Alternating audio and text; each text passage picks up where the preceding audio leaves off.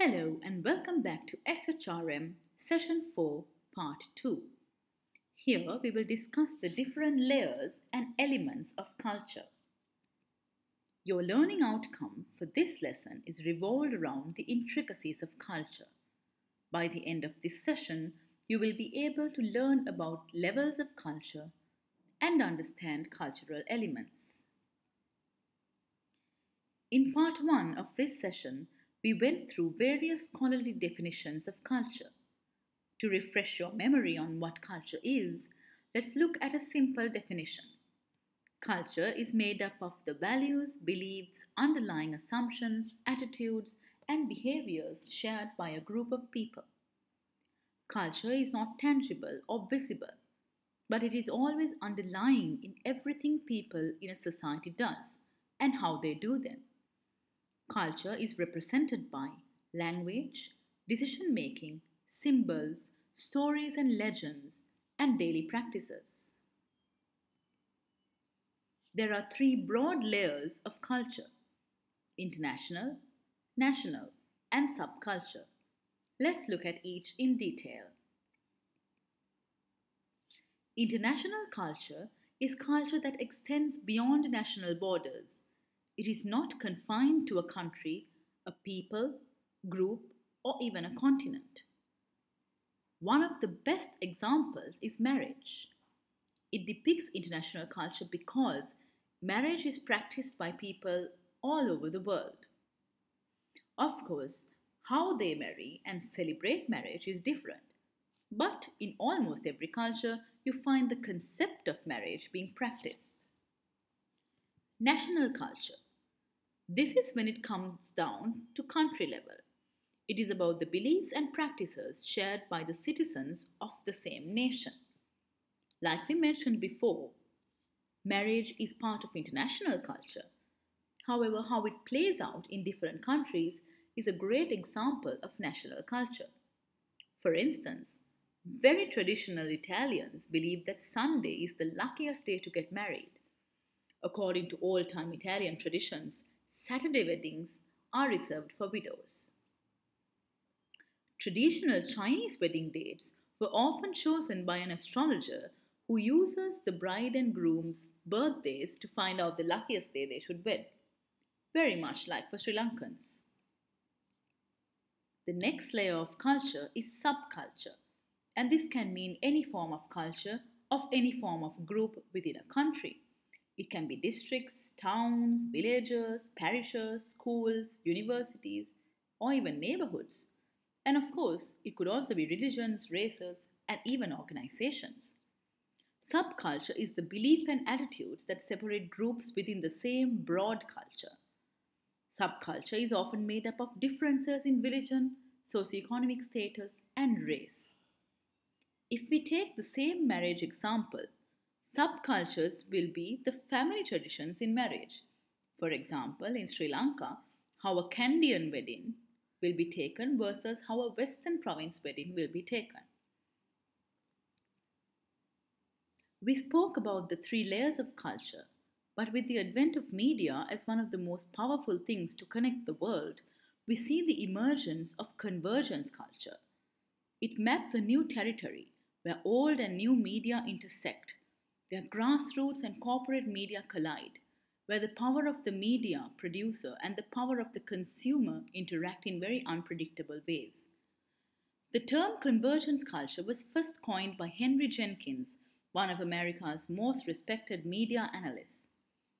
Examples of cultural convergence are the use of technology like smartphones, participation in global sports events, and the English language, which is probably the most common when it comes to entertainment.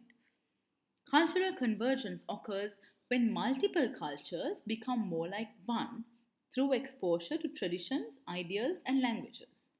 For example, Harry Potter fans. And another example are the fans who leaked Game of Thrones spoilers by pooling their knowledge to unearth the show's secrets before they were revealed on the air. As mentioned before, culture is intangible but there are elements of culture which make us understand it and identify it. These elements include symbols, language, values, norms, social organization, and beliefs. Let's look at these in detail, given that most of these words are used interchangeably in conversation, that we sometimes don't fully understand how different they are to each other. Symbols, a very visible form of culture. They're basically anything that is used to stand for something else. People who share a culture often attach a specific meaning to an object, a gesture, a sound, or even an image. For example, a cross is significant to Christians. A national flag symbolizes a wedding, a funeral, or a special event in Sri Lanka.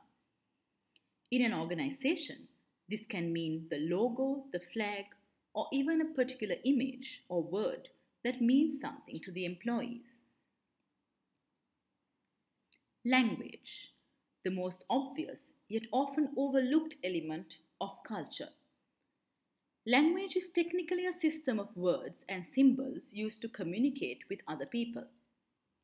And how one uses language depends on their culture. For instance, Christians may say bless you when someone sneezes, while Muslims will say Alhamdulillah. Language differences in culture can be for vocal language elements such as variety of languages. For instance, British and American English, where pronunciation and meanings differ. Slang is another clear sign of cultural influence, and so is common phrases. For example, like when the British say, fancy a cuppa, when they actually mean, Would you like a cup of tea? Body language is also another indicator of how culture influences people. For instance, eye contact can be considered normal in some cultures and rude in others. Values. Values are culturally defined standards for what is good or desirable. They are shared systems of values in cultures. For instance, in some Western cultures, individualistic lifestyles are preferred over collectivism, while in most Eastern cultures, it is the other way around. Norms. Norms are rules and guidelines which determine the behavior of an individual. Norms are often divided into two types formal norms, also called laws, standards of behavior considered to be the most important in any society, such as traffic laws, criminal codes, as well as informal norms, also called customs or folkways. These are standards of behavior considered less important but still influence how we behave. For example, table manners, like how to use your utensils or how to serve yourself.